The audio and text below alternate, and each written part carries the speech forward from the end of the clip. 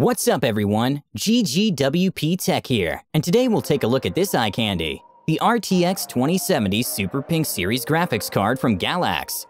The RTX 2070 Super lineup is pretty much the high-end sweet spot for 1440p and 1080p gaming, as it brings super high frame rates in games with no sweat.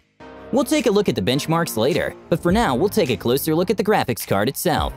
Being one of the first brands to bring different color palettes for graphics cards, Galax offers their RTX 2070 Super EX lineup in three colorways – black, white, and pink.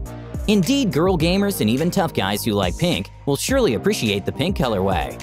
This graphics card has the standard 6-pin and 8-pin PCI power on the back, and the usual HDMI and DisplayPort outputs. For cooling, you get a nice heatsink with two LED 100mm fans, which is more than enough to cool down this 215-watt TDP graphics card. During our gaming test, this graphics card peaked at 64 degrees Celsius, with the room air conditioner temperature sitting at 25 degrees Celsius. Putting this card up against other graphics cards got us some pretty good results, as expected of a graphics card in this caliber. Here are the specifications of the PC that we used. Now, on to the benchmarks.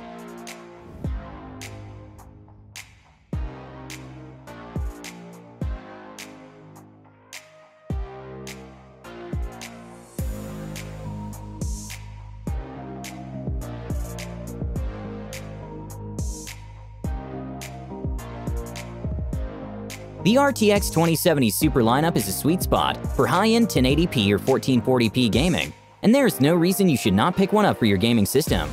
For those who are genuinely in love with the pink color theme, Galax has done this right for you, as they are one of the few graphics card makers who can pull this off.